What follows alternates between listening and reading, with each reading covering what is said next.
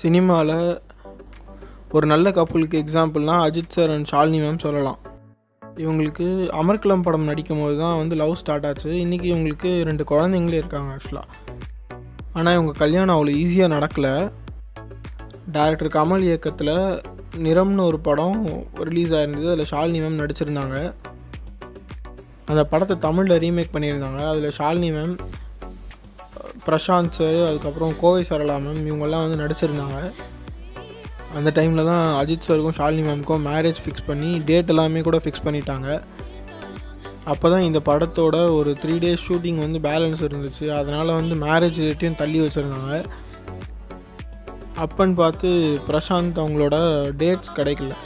அதனால் ஷூட்டிங் வந்து தள்ளி போய்கிட்டே இருந்தது. இதனால் வந்து ஒரு த்ரீ டைம்ஸ் ஃபிக்ஸ் ஆகிட்டு அவங்க மேரேஜ் வந்து ஸ்டாப் ஆகிடுச்சு ஐ மீன் டேட்டு தள்ளி வச்சுட்டாங்க.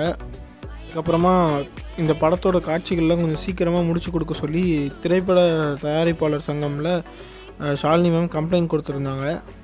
அப்புறமா அந்த காட்சிகள்லாம் எடுத்து முடித்த பிறகு கல்யாணம் நடந்தது.